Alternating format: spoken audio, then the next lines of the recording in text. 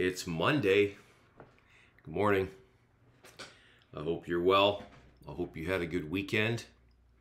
I've got Monday voice because I spoke twice and led worship twice, and then the tired voice on top of that. Been up since 5:35, but hey, it'll take some time to wake up the voice. I hope you're good, and uh, you're ready to hear what God has to say to us this morning from Psalm 139. This is a lot of people's favorite song.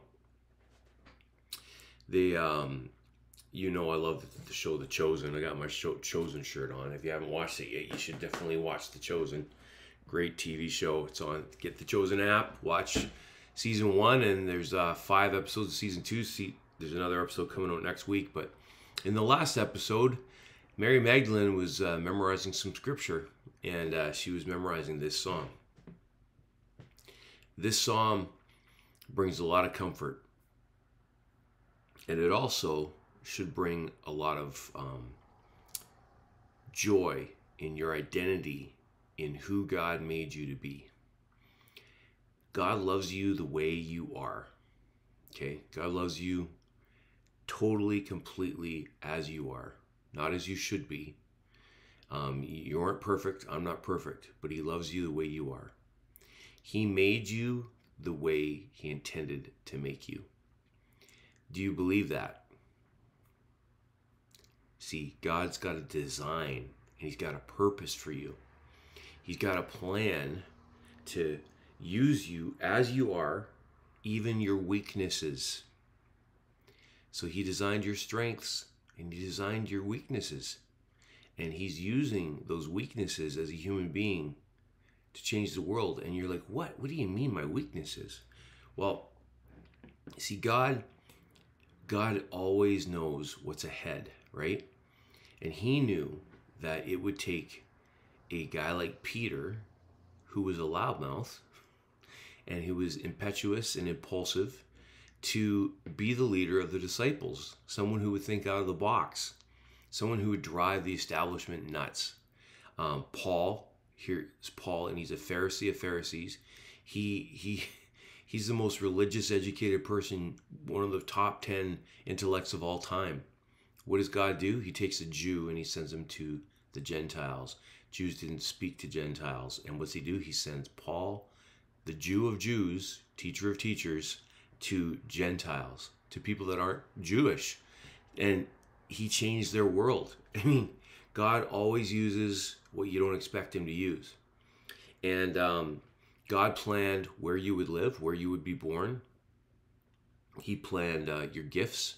He um, he planned your passions, um, your good passions, and uh, he wants you to be you. The best advice I ever got from Chuck Swindoll when I met him, he's a pastor, and he said, "Be yourself, Bob. Just be yourself and walk with God." That's all you got to be. He doesn't want you to be someone he didn't make you to be. And um, you know, I don't have to be um, Randy Evans or Rick Warren or, or you know Billy Graham or or uh, um, someone else. Like I look at our staff at our church. We are so different. All of us are so incredibly different. You know, you got Ben Hall, and you got Bob Evans. We are east and west in personality, and the Lord uses us on the same team to do God's work. You've got um, Spencer Coors in in Chase. You got Steve um, over in uh, Sorrento. We're all so different, but God planned it that way he's got this force of people that are all his, all different, and he knows um, your heart. And this is where Psalm 139 comes in. It says, Lord, you've examined my heart. You know everything about me. Now that is comforting and that is um, a little disquieting too, right? Um, you know when I sit, you know when I stand up, you know my thoughts, even when I'm far away. Can't get away from you. You know, you see me when I travel. You see me when I rest at home. You know everything I do. See, God is everywhere at once, always awake. His Spirit is om- omnipresent. You know what I'm going to say even before I say it, Lord. So, you know when you uh, are going to say something to somebody and you bite your tongue and you stop yourself? God knew what you were going to say. Thankfully, the person didn't. But you know what that means? Is that means your heart is an open book because your heart is the source of everything you say. So when you are coming before God, don't think you got to put on flowery words, Jesus said in Matthew 6. Just be honest and speak to Him. He knows what you're going to say. So, you know, Lord, you know my heart is disquieted within me this morning. You know, Lord, my heart is okay. Lord, you know I'm discouraged. Lord, you know that I'm happy. Lord, you know that I'm confused. Lord, you know that I'm fearful. And he, all that you don't tell him. Get the strength from him by telling him what he already knows. Talk about where you're really at with God. Write down, Lord, I don't even feel like functioning today. You know, tell him the truth because he he knows what you're going to say even before you say it. You go before me. This is comforting to me. And you follow me. He is my he goes before me to prepare the way. Nothing's going to be a surprise to God. And he's our rear guard as well. He's got our back. That your back is your most vulnerable point. You don't have to be afraid. God has got your back. You know that um, I am a very fearful man. Bob Evans is a fearful man. And uh, 2012, 2011, um, you know, we had to make a decision. Are we going to go to Israel with this really good deal with these 20 pastors? And uh, one day we're at staff meeting and, uh, and Ben says, so are you going? And I said, I don't know yet. And it was November. And he's like, you got to choose a lane, buddy. and it's because I was afraid to go. I, I, you know, I'm going halfway across the world. Never been on a trip that big. Um, I was scared. But see, this verse tells me that he goes before me and he follows me. He's my rear guard. He's got my back. And he places his hand of blessing on my head.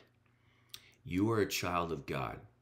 And so with with that knowledge, that means that your father loves you and he's got good stored up for you even in the middle of the hard things in life.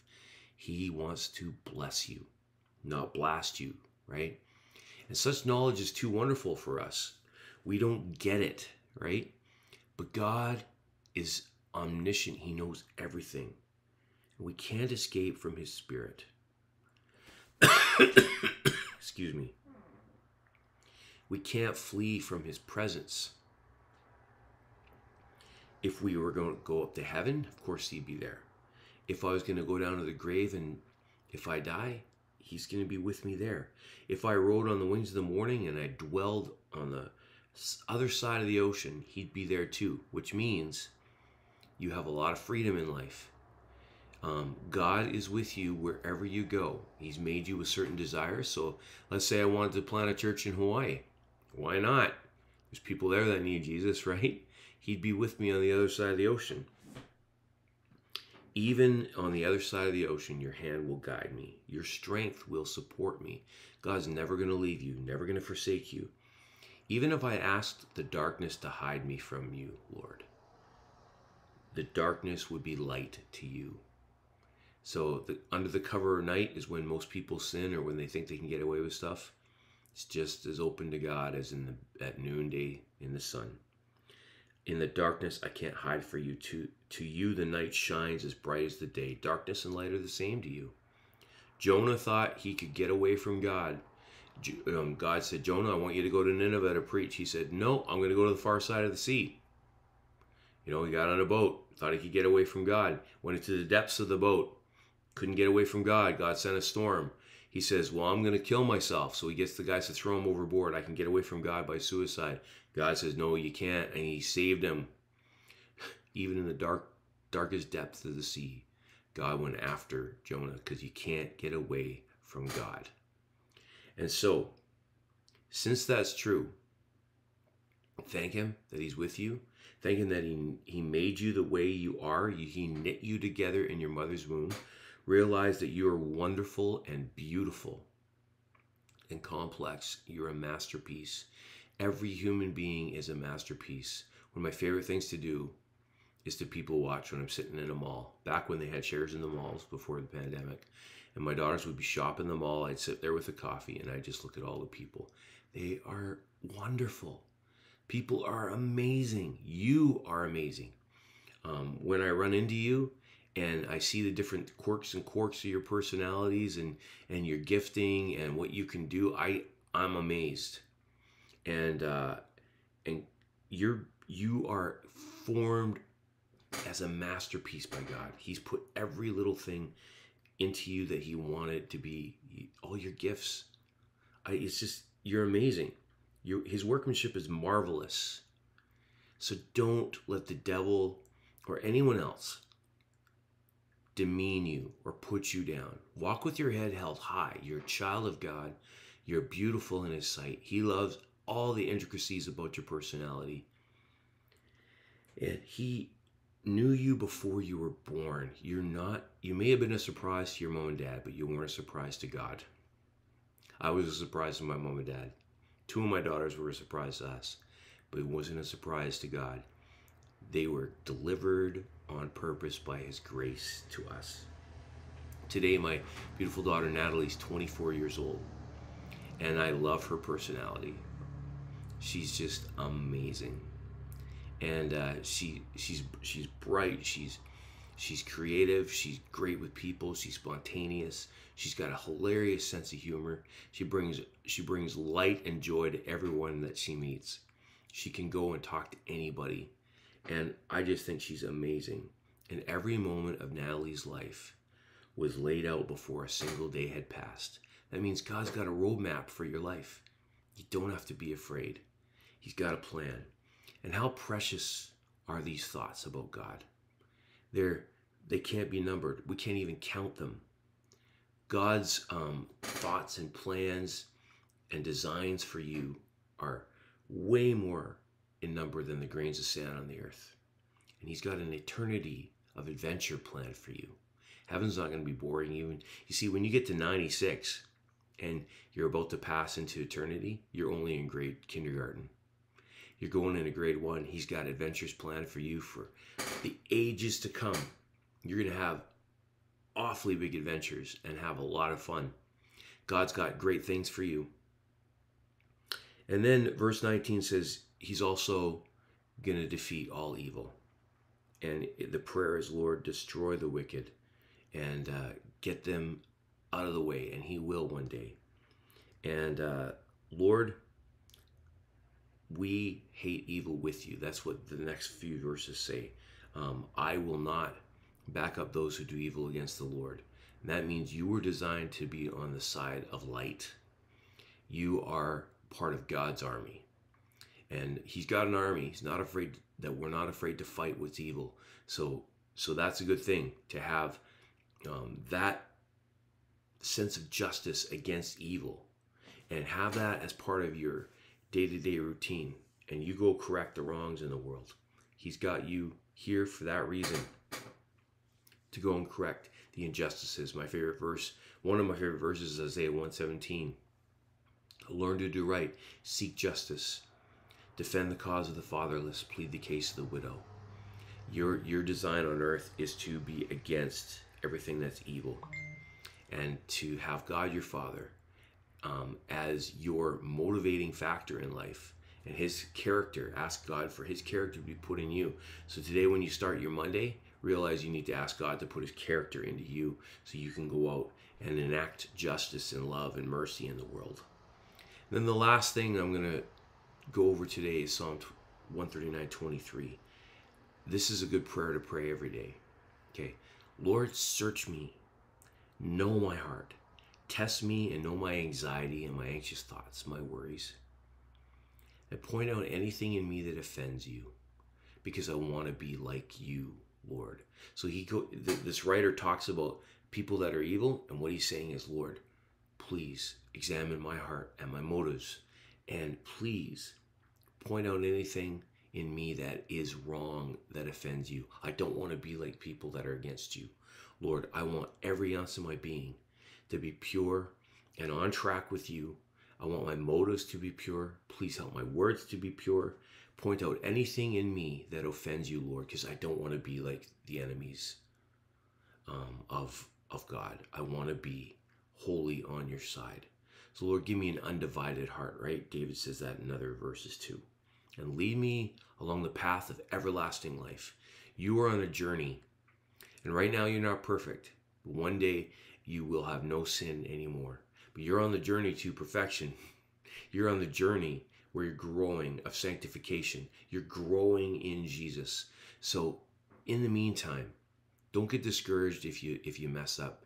He forgives you. He's got your back. He knew you were going to mess up when he died for you on the cross. You're forgiven of all your mistakes and sins that you're going to make in the year 2027 and 2050.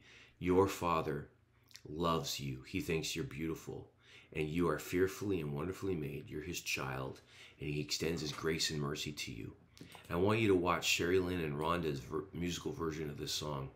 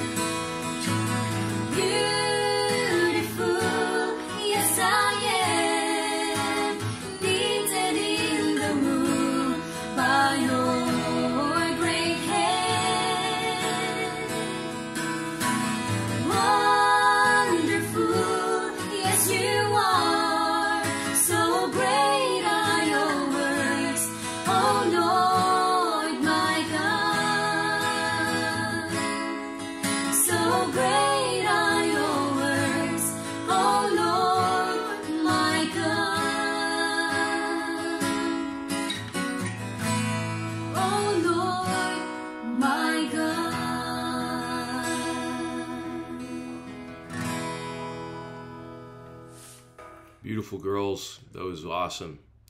Um, let's pray together, okay? Father, for uh, the four of us that are together right now, um, thinking about the fact that we can't get away from you, knowing that you love us, knowing that you've uh, prepared this day and you knew what would happen on this Monday June 14th, 2021. We give ourselves fully to you, Lord, trusting you, asking you to fill us with your spirit. Please give us the sensitivity and the direction that we need to help the people around us to do our jobs well, to bless and encourage. We pray, Lord, that uh, we would not be afraid. We pray that you give us courage. And with your presence, Lord, going with us, we know that we're safe and we, we worship you. I thank you, Lord, that you love the people watching. May you give them hope, I pray today. In Jesus. In your name, Lord God. Amen. You guys have a great day. Jermico and I will be together tomorrow morning to do this with you. So we'll see you tomorrow.